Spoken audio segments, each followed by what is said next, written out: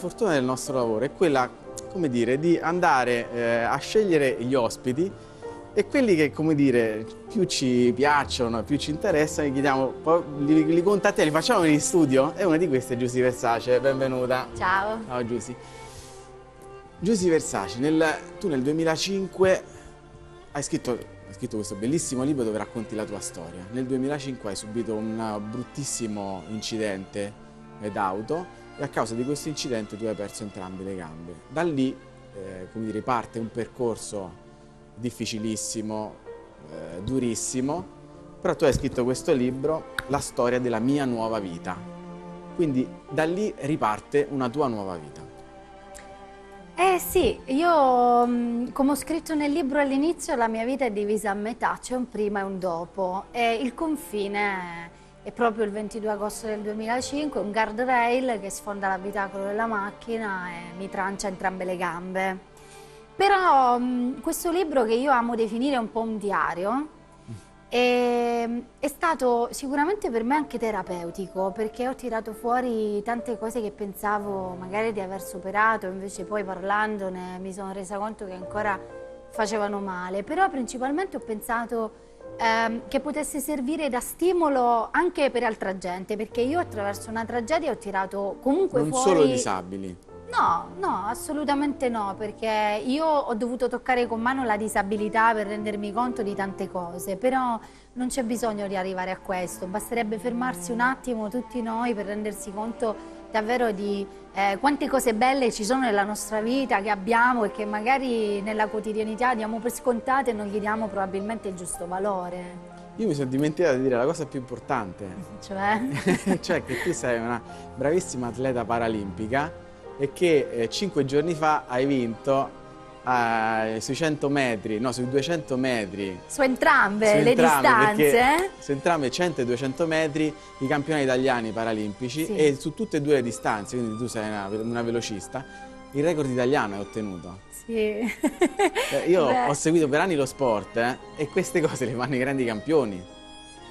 Dietro c'è tanto lavoro, insomma, sai, poi lo sport paralimpico ahimè è ancora poco seguito e tante volte uno ti vede correre con queste protesi, con questi piedi in fibra di carbonio che sembra quasi che eh, molleggino e saltellino da sole, ma ti garantisco che poi prese non, sono, è semplice. non è semplice, devi imparare a usarle, comunque ti ridanno indietro una risposta che tu poi devi anche saper gestire, dietro c'è tanto allenamento, Ma tu eri una fatica. sportiva anche prima, cioè facevi sport anche prima sì. ad alti livelli come adesso? No, no, ero una, mi piace definirmi sportiva come tanti perché mi piaceva fare aerobica, spinning, amavo giocare a tennis, sono comunque tutte cose che oggi ahimè non posso più fare. Certo. Poi ho scoperto che potevo correre e ho scoperto quanto è bello correre e questa cosa mi trasmette talmente tanta gioia nel sacrificio comunque perché è sacrificante andare a correre d'inverno soprattutto con la nebbia, con la neve, con la pioggia, ehm, però poi torni a casa con una carica in più. Io mi sento viva, quando corro non mi sento invalida e questa è una cosa bellissima e mi piace raccontarla perché vorrei che la gente eh, si approcciasse allo sport perché fa proprio bene, è una grande terapia penso per tutti, non solo per chi come me vive un handicap. Allora, questa è la Giusy Versace, eh, la nuova vita, posso dirlo? Sì. Però tu per arrivare a questo risultato hai veramente lottato con le unghie e con i denti, perché tu di punto in bianco una bella ragazza, avevi un lavoro bello, eh, un lavoro che ti piaceva, che ti, nel quale tu eri proprio pienamente immersa, ti ritrovi senza, senza niente, perché le gambe per assurdo eh, servivano a tutto questo, erano proprio indispensabili e quindi da lì ti sei proprio dovuta rimboccare le maniche e reinventare tutto.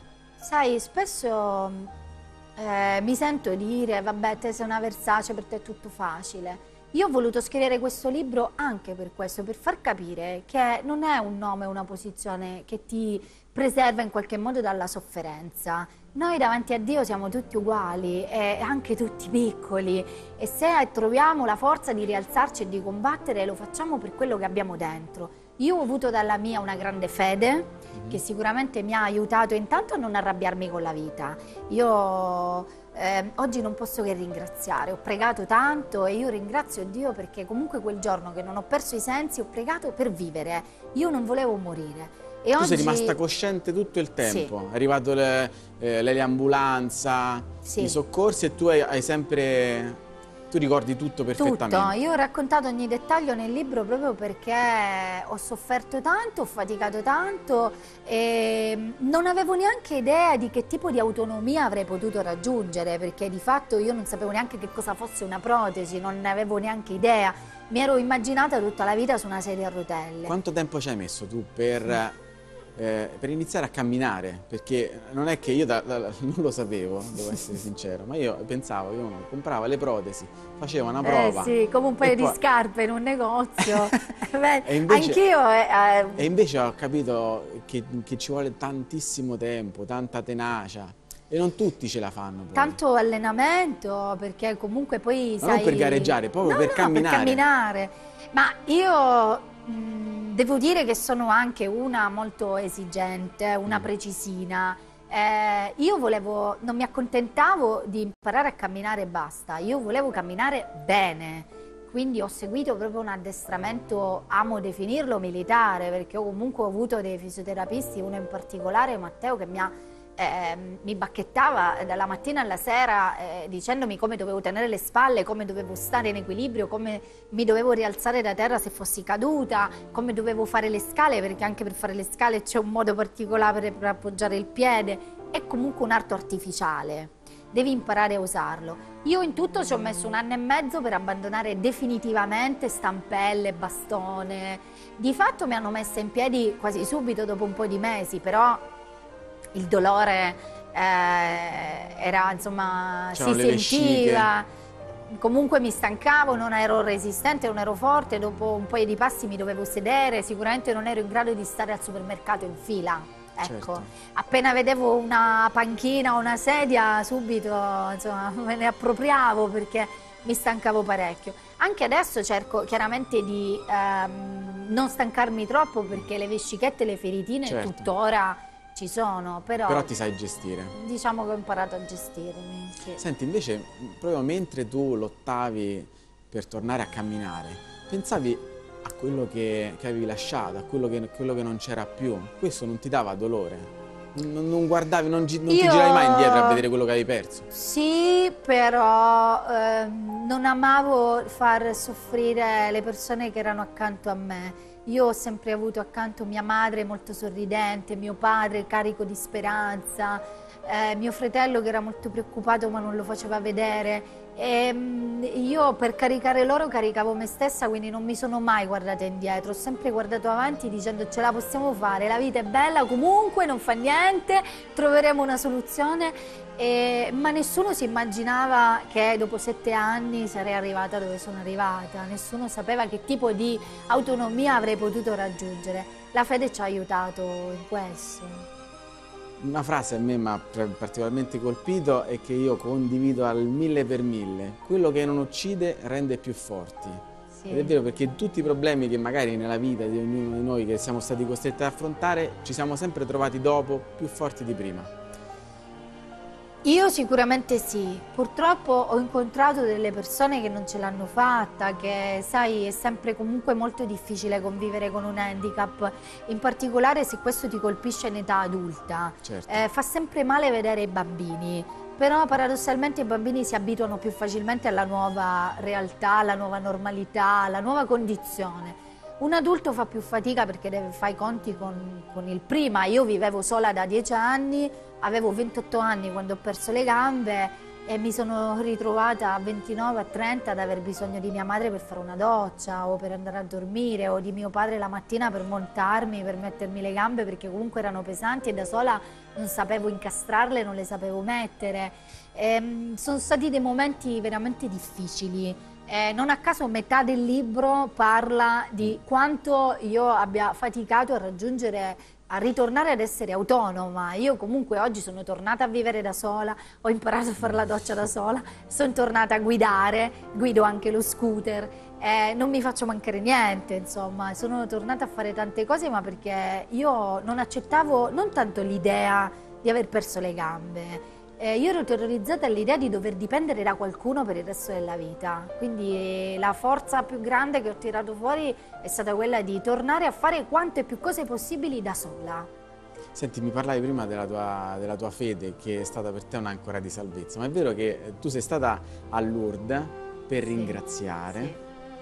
E, e, adesso sei volontaria dell'Unidalsi. Sì, avevo fatto un voto e avevo promesso che se fossi tornata a camminare sarei tornata a Lourdes a ringraziare, l'ho fatto. Mi sono sentita comunque scarica perché Ma quando davanti... sei andata camminavi bene oppure... No, zoppicavo, mm. ero, mi appoggiavo un po' alle stampelle, un po' di sedia a rotelle. Camminavi?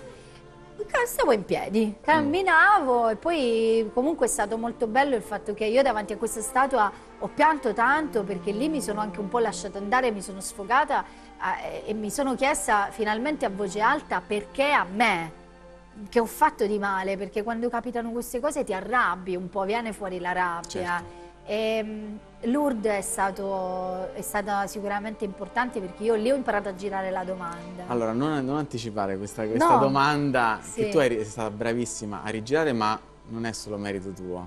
No, assolutamente Allora, no. tu in occasione, in occasione della fiaccolata bellissima della Flambeau a, a Lourdes, hai, hai parlato come dire, hai dato la tua testimonianza ai fedeli presenti a Lourdes. Quattro anni dopo, Quattro anni dopo. dopo essere stata diventata volontaria dell'Unitalsi, ho scoperto quanto è bello condividere con gli altri le cose belle che fai, quanto è bello regalare un sorriso, questo l'ho scoperto grazie all'Unitalsi, grazie a Lourdes, perché la, dall'anno successivo in avanti sono tornata a Lourdes sempre come volontaria a lavorare. Andiamo a vedere allora adesso, quando Giusy eh, rivolta ai pellegrini presenti a Lourdes dà la sua testimonianza. E attenzione all'ultimo passaggio, quando la domanda viene ribaltata, ma non è merito suo. Io sono Giusy Versace. E mm, per me è molto emozionante essere qui stasera perché ho avuto un brutto incidente in macchina cinque anni fa, ho perso tutte e due le gambe. E quattro anni fa ero seduta in una di queste prime file su una carrozzina proprio come molti di voi. Oggi dopo quattro anni sono qui in piedi e vi racconto cosa ho fatto.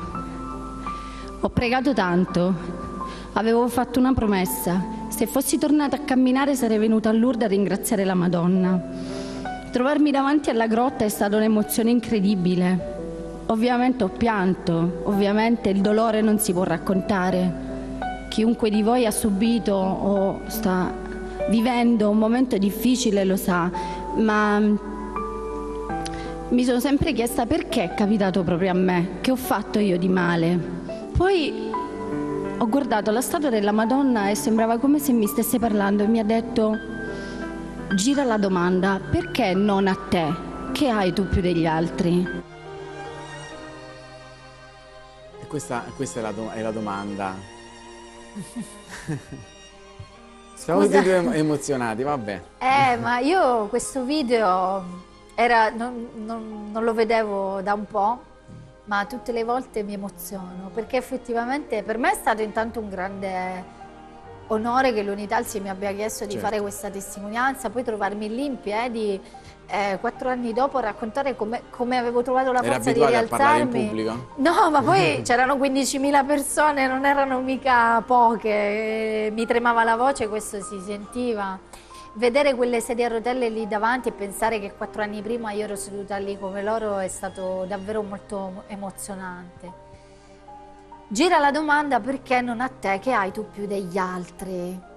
Questo è stato quello che io mi sono sentita in qualche modo sussurrare all'orecchio e io sono convinta che la Madonna mi ha in qualche modo parlato perché effettivamente è così, noi ci sentiamo eh, superiori per tanti motivi, viviamo comunque in una società dove basta che ricopriamo dei ruoli eh, di un certo tipo o abbiamo delle cose materiali di un certo tipo che subito viene identificato uno status che in qualche modo sembra quasi ti debba preservare no, da qualsiasi cosa, poi capitano tu dici, ci sono tanti delinquenti in giro, scoppiano di salute e invece te che non hai fatto mai del male a nessuno perdi le gambe, in effetti non ti dai pace per questo. Però io ho scoperto più che altro che non c'è un perché.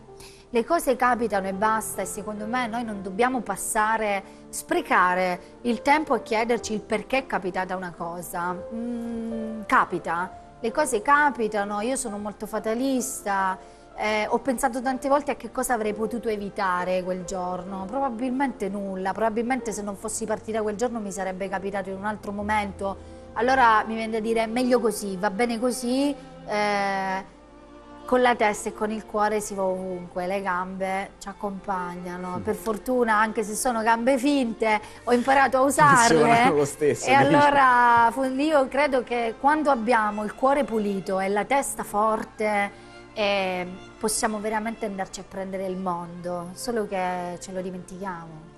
Senti, tu ti sei andato a prendere il mondo, però l'hai fatto grazie a, alla tua famiglia. Qui, ma non solo alla tua famiglia, perché le ultime, guarda, le voglio contare, sono una, due, tre, quattro pagine, quattro pagine di ringraziamenti. Sono tanti? Sono tanti quattro pagine di ringraziamenti, però quando le leggi ti rendi conto che effettivamente attorno a te si è creata proprio una rete di solidarietà, che non è che, come dire, persone sconosciute, i tuoi amici, i tuoi parenti, i tuoi cugini, tuo fratello, tua madre, tuo padre un gruppo di persone che veramente ti ha aiutato e, e grazie alle quali tu sei riuscita dire, a riprendere a camminare e poi non a, a camminare, a essere campione, io di fronte a una campionessa italiana sui 100 e 200 metri. Guarda, eh, in effetti è la cosa bizzarra che quando la Mondadori, eh, insomma, quando ho finito il libro, eh, giustamente l'editore mi ha detto ma Amore mio, eh, non quattro, si mettono i ringraziamenti. Pagine, no, ma ha detto i eh. ringraziamenti in genere sono due righe, certo. al massimo quattro pagine si fanno di prefazione. Io certo. ho eliminato completamente la prefazione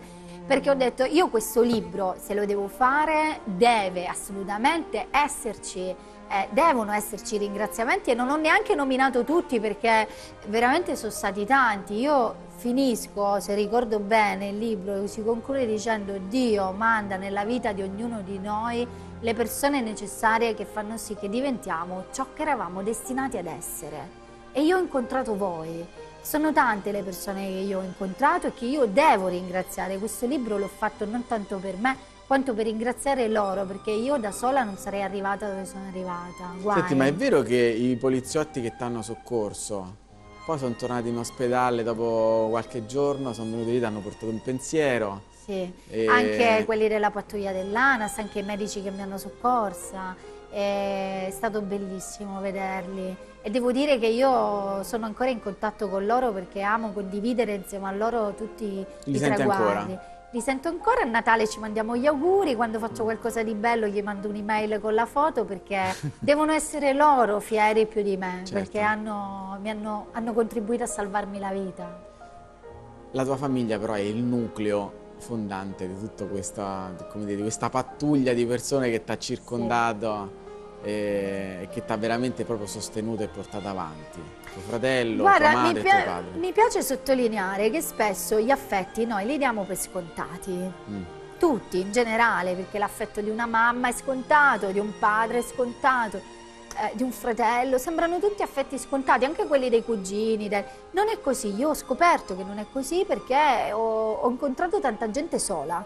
Io ho conosciuto molta gente sola che non ce l'ha fatta, gente che si è tolta la vita perché non riusciva più a guardarsi allo specchio, gente che non sapeva come andare avanti, gente che...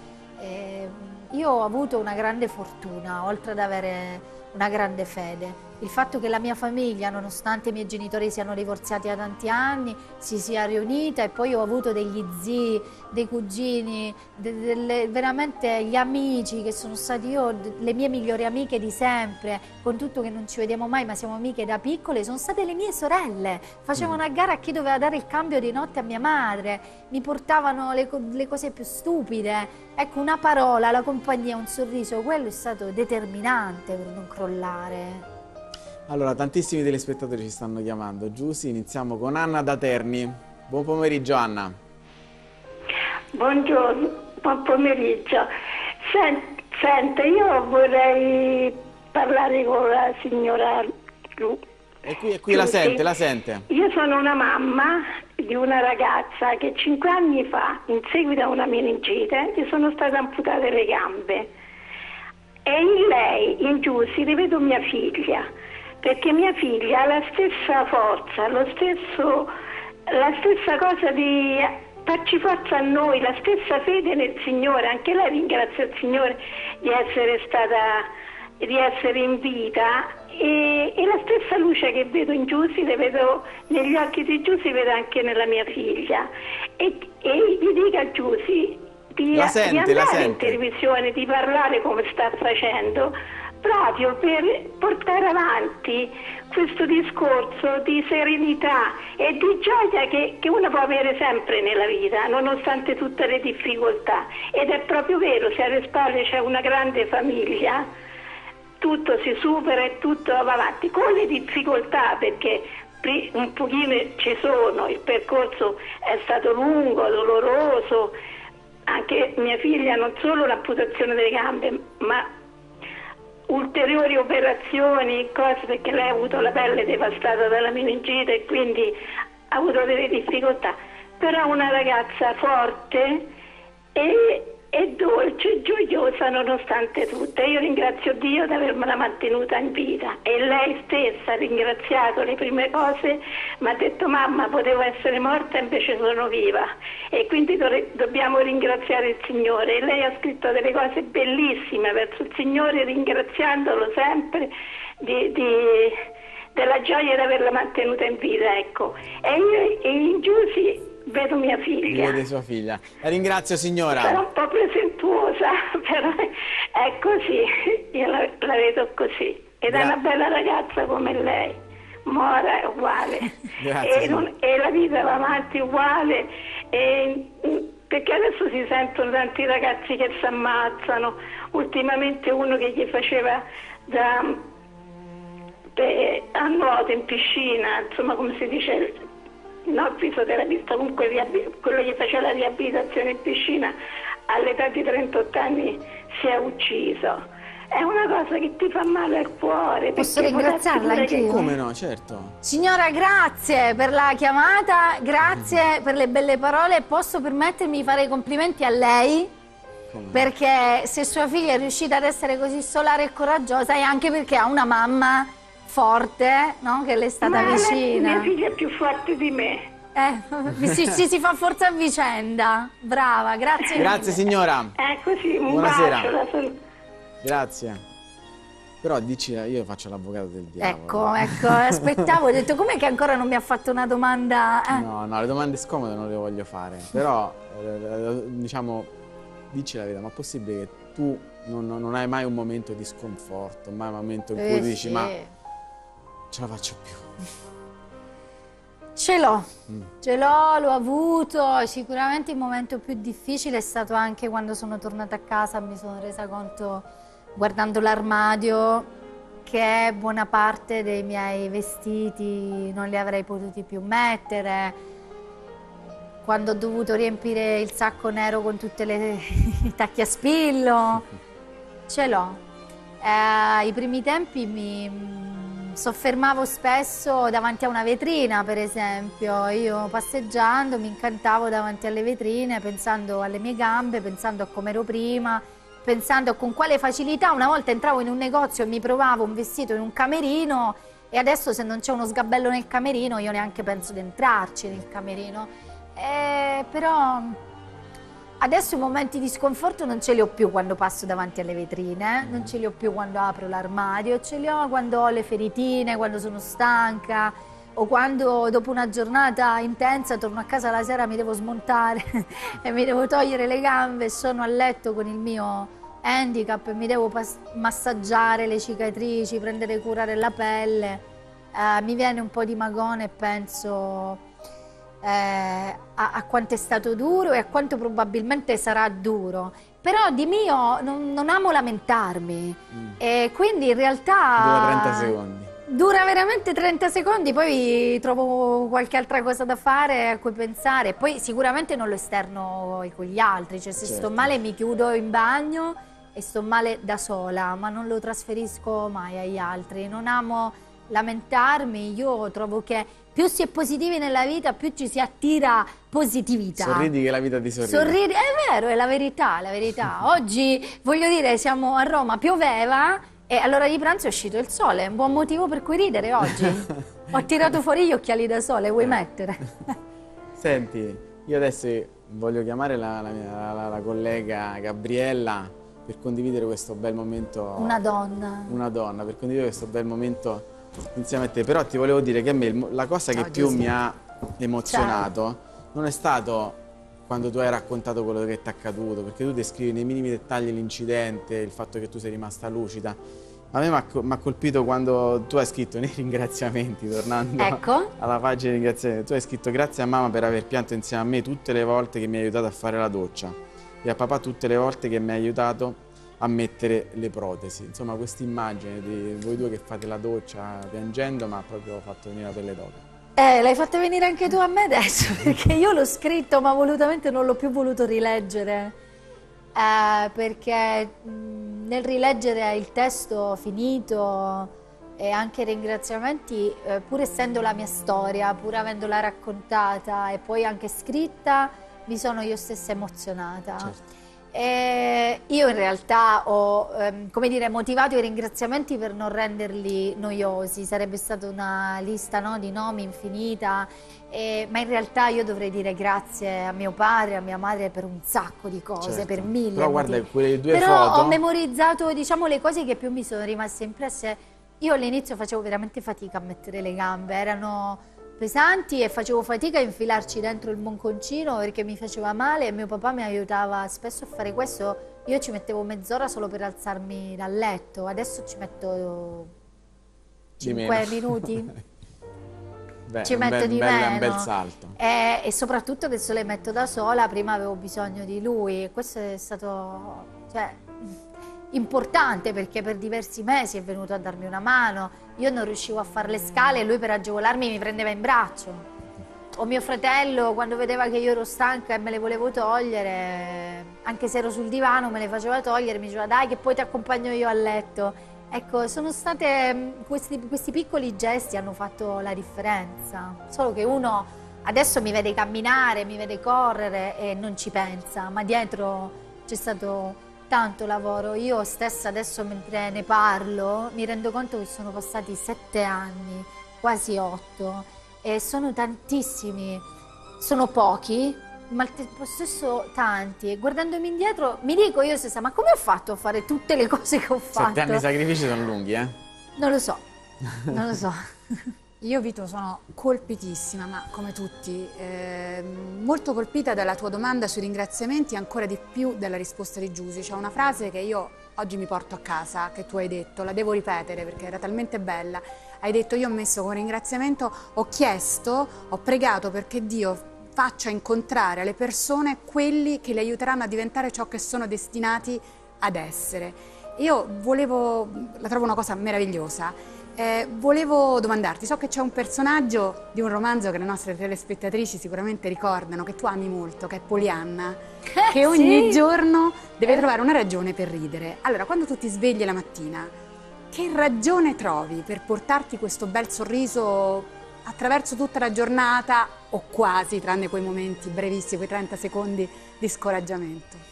Ma ehm, il gioco di Poglianna, come l'ho chiamato io, mi ha aiutato tanto nel periodo in cui io non ero in grado di camminare tanto da sola e quindi ogni giorno trovavo un motivo per cui ridere, ecco perché ho detto oggi è uscito il sole, è un motivo per cui sorridere. Tiri fuori gli occhiali da sole che a Milano, devo dire, io vivo a Milano, non sempre li capita, di, li uso poco. E, e questo è stato utile, io non lo so dove trovo questa energia e, e, non lo so, io amo la vita, io proprio sono, io ho una grande voglia di vivere, una tremenda voglia di vivere, io non so stare ferma, anche a casa quando sto, eh, non lo so, quei pomeriggi che tu dici ti vuoi rilassare e sei a casa, io dopo un'ora mi annoio, devo fare qualcosa, allora sposto il mobile, sposto il divano, guardo la parete che fucsia, decido di cambiargli il colore eh, devo, devo, fare, sono adrenalinica e questo eh, mi carica, mi aiuta. Eh, poi guarda, se ne parla poco, ma io ho scoperto il volontariato. Sembrerà banale. Io, noi abbiamo visto delle immagini tue a Lourdes, ecco, meravigliose, spettacolari. Sì, Molto voglio dire, eh, ecco. vado, cioè, io non, con le gambe finte non riesco a fare tantissimo al refettorio aiuto, servo i tavoli, aiuto a mangiare le persone che non riescono a mangiare da sole, eh, regalo un sorriso, io so fare quello. Perché nel messaggio di Giussi Eh. quello che passa, Vito, è, è che si possono fare tante cose, no? Sì. Però non si fanno senza gli altri, cioè amandoli ma anche lasciandoci sorreggere. Guarda, io ho scoperto che se fai qualcosa di buono e lo condividi con gli altri, ti torna indietro come un boomerang positivamente boomerang raddoppiato. positivo. Sì, perché fai bene a te, cioè, mentre fai bene agli altri, fai bene anche a te stesso. E questo sicuramente carica, per cui il volontariato è anche un modo per eh, davvero aiutare, ma aiutarsi. Andiamo adesso a Palermo, c'era Antonina, la nostra telespettatrice. Buonasera Antonina, Buonasera. Buonasera. ci dica tutto. Ciao Giussi, Ciao, buonasera. io ti do del tu, forse ti posso venire anche nonna, non lo so. Eh, come sempre, come ti, è la seconda volta che ci sentiamo e come sempre ti devo ringraziare perché sei un vulcano, un vulcano di serenità, di, di coraggio, di tutto. Volevo farti una domanda specifica, Giussi. Sì. Gianfranco e Tiziana di Castrovillari ti dicono niente? Beh, eh, Gianfranco è il poliziotto, giusto? Della... Che ti ha aiutato? Eh sì. E- Allora, ti dico una cosa, io per caso sono venuta a sapere, siccome io conosco Tiziana, perché eh, tu lo sai, Tiziana è di Palermo, Eh, sì? Non- e quindi tramite la madre sono venuta a sapere, ho detto che avevo parlato con te in televisione e lei mi ha detto che una volta ti ha incontrato a casa di sua figlia. Eh, io in questo momento faccio, non, non focalizzo, però le chiedo scusa, non- non- però probabilmente sì, ti, ti chiedo scusa, però sì. Tra le cioè, tante per- persone che hai conosciuto, Tra le tante persone sicuramente eh, può essere, Sì. però insomma Comunque sono... Gianfranco sicuramente te lo, te lo- quello- è lui che ti ricordi perché giustamente è quello che ti ha aiutato. il Forse poliziotto. Tiziana è la moglie, eh? Probabilmente sì. Sì, la moglie. Ah, sì, ok, sì. ok, vedi? Ti chiedo scusa, non avevo collegato. Castrovillari. Sì, lei è sì, di però... Palermo, lo sai, no? E lui è uno di quei poliziotti che ancora Sì. oggi Sì. sento e ringrazio. Dico per caso io sono venuta a saperlo dove che ti avevo- dopo che ti avevo sentito. Ah, vedi. La ringrazio signora, Allora, buona serata. io che ti devo fare? Non, non ho parole perché i complimenti non sono mai sufficienti per te. E io ti, ti- ti raccomando e ti prego di trasmettere sempre questa forza e questo coraggio che hai sempre alle persone che molto spesso con molto meno della tua sofferenza ci lasciamo prendere dalla- dall'angoscia. Grazie, grazie mille, mi rincuora. Grazie mille. Abbiamo fatto fatica un po' a focalizzare, ma volta- ho collegato perché era la moglie. poliziotti. Sì, di lui sì, non ricordavo che lei si chiamasse Tiziana. Però, Adesso vedi sì, com'è piccola. adesso sì. Sì, sì, sì, so- mi fa piacere. Allora Giuseppe ti ringrazio tantissimo. Grazie a voi, è stata una bella chiacchierata e poi soprattutto sono felice se questo libro può trasferire qualcosa di bello e può ridare fiducia a quelle persone non necessariamente invalide ma che stanno vivendo un momento di difficoltà che stiamo vivendo tutti in Italia, però insomma amiamo la vita perché è bella e facciamo peccato a lamentarci. Possiamo gioire anche per un piatto di pasta condiviso con un amico, secondo me, se vogliamo. È così.